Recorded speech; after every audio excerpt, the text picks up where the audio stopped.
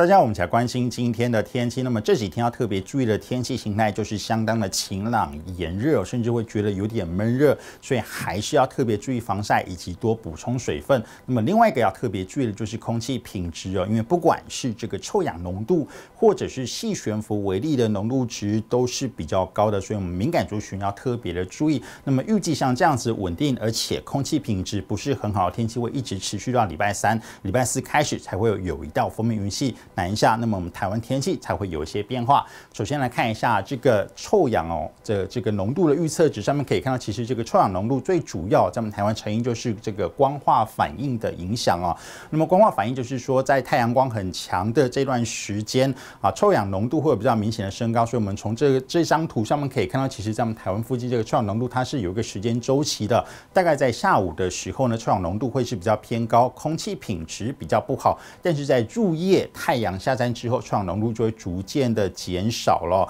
啊，所以如果是呼吸器官比较敏感的话，提醒大家啊，在下午的这段时间尽量减少外出。那么在 PM 二点五细悬浮微粒的话，也可以看到我们台湾附近的这个浓度值也是稍微有点偏高的。那么而且影响范围啊，在我们台湾的西半部地区。那么在最主要的原因就是扩散条件不是很好，所以污染物容易累积下来。那么也提醒大家，未来几天，尤其礼拜三之前，都会是类似的，空气品质可能会稍微比较差一点点。那么在天气的部分，我们台湾最主要是受到太平洋高压笼罩的影响，所以云量相当的少。那么天气啊。基本上还是跟夏天一样，相当的炎热，相当的晴朗。就在山区有一些局部零星的午后热对流发展起来。那么预计未来一个礼拜的天气，我们刚刚跟大家说过，礼拜三之前都会是类似的，都会受到太平洋高压笼罩的影响。可以看到这边是一个很大的顺时针的环流，这个就是太平洋高压的范围啊。所以天气会相当的晴朗。那么到礼拜四的时候，大家可以看到。会有一道封面云系南下，影响我们台湾。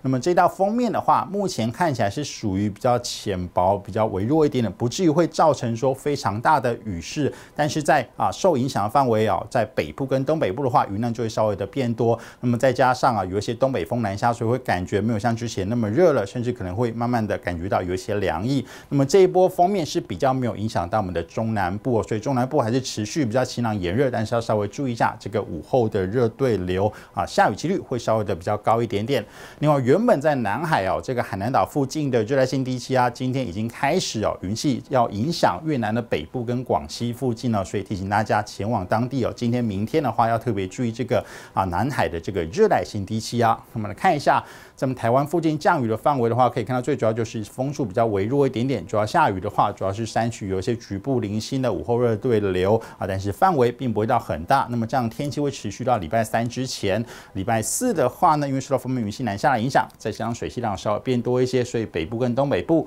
云量会稍微变多。中南部要注意午后雷阵雨的这个范围可能会稍微的扩大一点。我们来看一下啊，在这个今天晚上各地的天气。大致上都还是比较晴朗，要特别留意的仍然是空气品质，西半部都是普通到对敏感族群不健康的等级。那么在明天的话，各地天气哦还是跟今天比较类似，白天是相当的晴朗稳定的。那么空气品质仍然是普通到对敏感族群的不健康等级。那么在这个温度的话，可以看到低温大概是二十六到二十八度，中午高温仍然相相当的这个炎热哦，可以来到三十三到三十五度，所以中午仍然是属于比较偏热的天气形态。那么最后再提醒大家，这个天气哦是相当的晴朗闷热，山区有局部的午后雨，要特别注意的还是空气品质，尤其在中午过后的臭氧浓度会比较偏高。以上就是今天的天气。